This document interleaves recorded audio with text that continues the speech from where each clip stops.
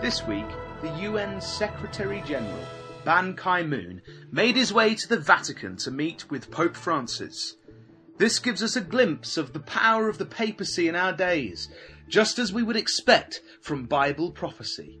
This is Matt Davies joining you again for another Bible in the News. Reports stated that once he saw the Pope, Mr. Ki moon bowed his head before greeting him. And as he was greeted by the Pope, he said, Your Holiness, it's a great honour for me to have an audience with you. And just before journalists were ushered out of the room, he was reported to have said, quote, The United Nations and the Holy See share common goals and ideals, unquote. The Vatican Press Office referred to the UN Secretary of State as, quote, His Excellency, Mr. Ban Ki moon, end quote. It also stated in its press release that, quote, the meeting which follows in the tradition of audiences granted by popes to the various secretaries general of the United Nations who have held that position over the years seeks to express the appreciation that the Holy See has for that organization's central role in the preservation of peace in the world, in the promotion of the common good of humanity, and in the defense of fundamental human rights. End quote. The press release continued though, quote, during the course of the cordial conversations, issues of mutual interest were discussed. In particular, situations of conflict and serious humanitarian emergency, especially in Syria and other places such as the Korean Peninsula and the African continent, where peace and stability are threatened. The problem of human trafficking was noted, in particular that of women, refugees, and migrants, the UN Secretary General, who recently began his second term in this role, outlined his project for his second five year mandate, which focuses, among other things, on conflict prevention, international solidarity, and equitable and sustainable economic development. Pope Francis also recalled the Catholic Church's contribution in support of the entirety of human dignity and in promoting a culture of encounter that helps to realize the UN's highest institutional goals. End quote. Another report stated, quote, after their private meeting, Ban introduced to the Pope members of his entourage, which included his wife, his Argentine Chief of Staff, and the UN Undersecretary for Disarmament, Pope Francis went around the room giving each guest a small boxed rosary, which still carries the coat of arms of Pope Benedict. A papal aide said they are awaiting the arrival of rosaries with Pope Francis's emblem. Pope Francis spoke a few words of English during the meeting, presenting a mosaic to Ban. The Pope said, This is for you. Then he immediately switched to Italian to describe it as a view of Rome. Ban gave the Pope a blue bound tome or book containing the text of the United Nations Charter in Arabic, Chinese, English, French, Russian, and Spanish. He told the Pope the Charter reflects the goals and objectives of human beings, which you also promote. Now, these events show us the power and influence of the papacy. No other religious leader has so much influence in the modern world which other religious imam or church pastor would have the UN's plans for the next five years outlined to them by the United Nations Chief Secretary?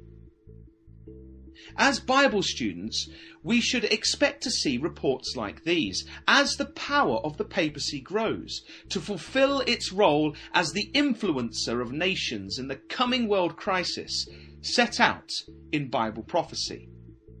Since the papacy lost its temporal, political power back in 1870 when Garibaldi stripped it from him, it has had to make do with simply being a religious voice. This was emphasized by the Pope who, in the same year of 1870, declared the doctrine of papal infallibility for the first time.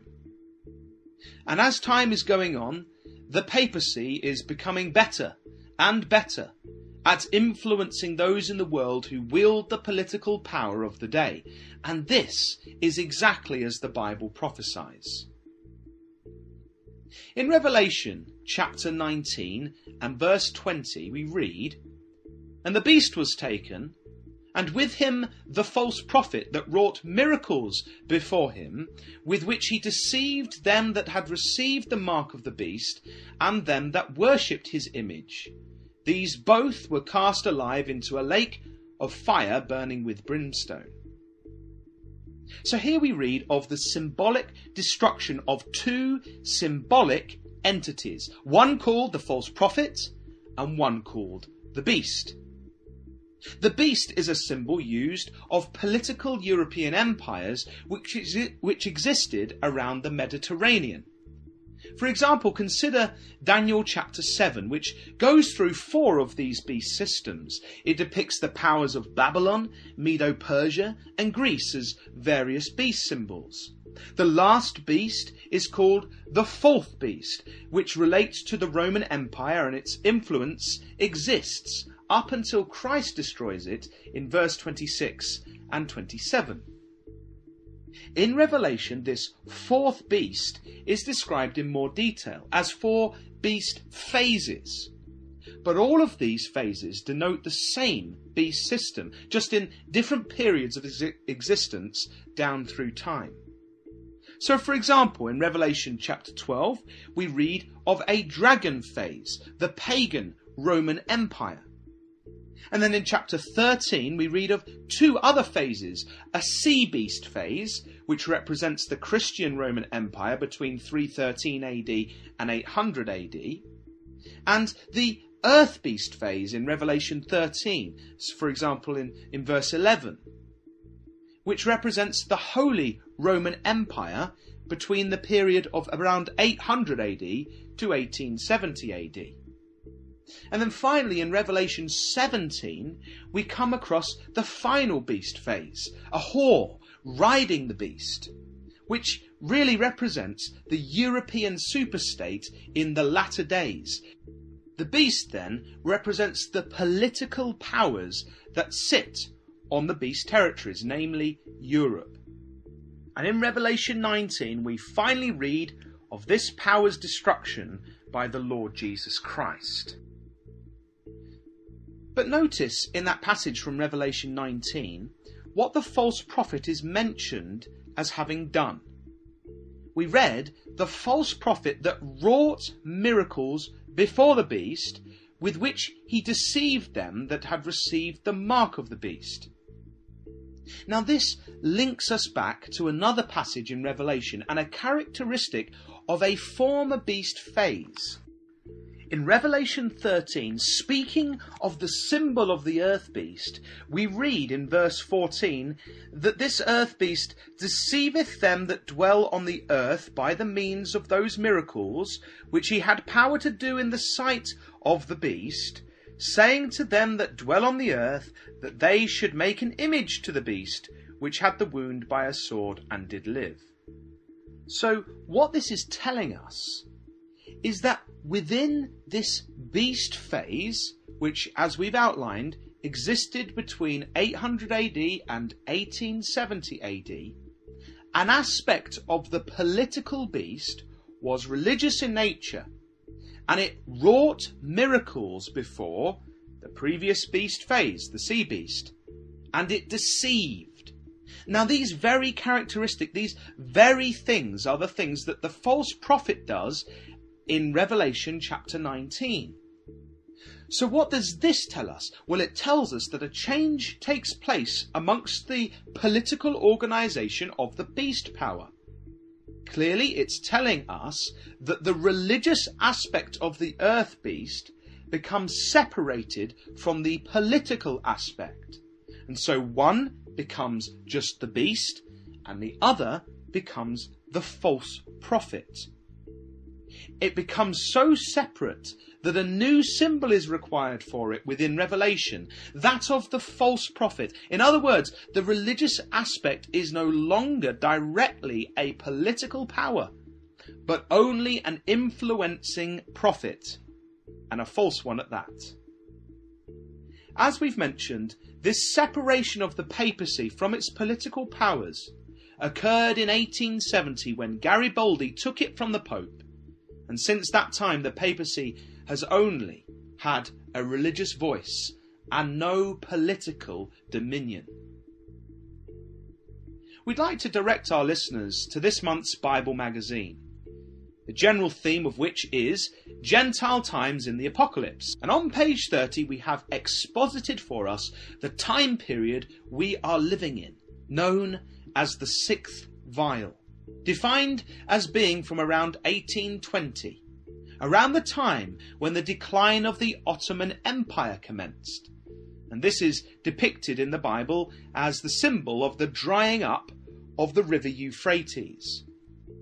The record of this sixth vial period is found in Revelation chapter 16 between the verses of 12 to 16. And during this time period, we read that Christ returns to the earth to establish God's kingdom in verse 15. And also within this time period, the symbol of the false prophet is first introduced to us. A very important point. Because the requirements of the prophecy then dictate that during the period from the drying up of the Euphrates around 1820 to our day today, a religious leader would appear who would be part of a system which could be traced directly back to having political power with the beast system. Clearly, the only power existing today which fits this requirement is the papacy, whose current status of being only a religious leader without any political power came about in 1870 within the time period of the sixth vial. And incidentally, this is one reason why the false prophet symbol cannot be related to Islam, as some commentators suggest, because Islam appeared in the 6th century, not during the time period of the 6th vial, from 1820 onwards. And so this false prophet appears in our time. And so we should be able to look at world affairs and see the growing influence of this symbolic power. So, what does all this have to do with the recent news stories of the Pope meeting with the UN Secretary General? Well, in verse 13 of Revelation 16, we read how John sees frog like spirits come out of the mouth of the false prophet. What is this a symbol of? Well, amongst other things, the frog in Scripture is associated with a false hope of human liberty. For example, see Exodus 8, verses 1 to 2. And so we relate this to the call of humanism, which seeks to liberate mankind from restrictions. We link it with the ideas reflected in the Vatican's press release of the promotion of the common good of humanity and in the defense of fundamental human rights. What is the effect of the frog like spirits? Well, verse 14 records, For they are the spirits of devils working miracles which go forth unto the kings of the earth and of the whole world, to gather them to the battle of that great day of God Almighty. So just before Christ returns, in verse 15, the false prophet will be influential in calling kings to muster their armies and to fight. The false prophet will speak of false liberty and of the defense of human rights. He will have the ear of the kings of the earth and of the whole world. And therefore, as we live in the sixth vial period and as we await the coming of Messiah, we can have confidence in Bible prophecy. We see a religious leader who is part of a religious system which used to wield direct political power in Europe, now separate, and fulfilling the destiny which Scripture has set out for him that of an influencing false prophet. We see this as the papacy, whose popes have been croaking its doctrine of Christian humanism, and ecumenicism louder and louder since it became a false prophet in 1870. The most recent Pope Francis continuing the chorus. This influence surely will grow and grow until when the time is right and all the pieces of the prophetic jigsaw puzzle are in place, this false prophet will indeed influence those nations who heed its croakings to gather for the great battle of Armageddon. So let us continue to watch these signs of our times together and tune in next week for another Bible in the News, God willing. This has been Matt Davies joining you.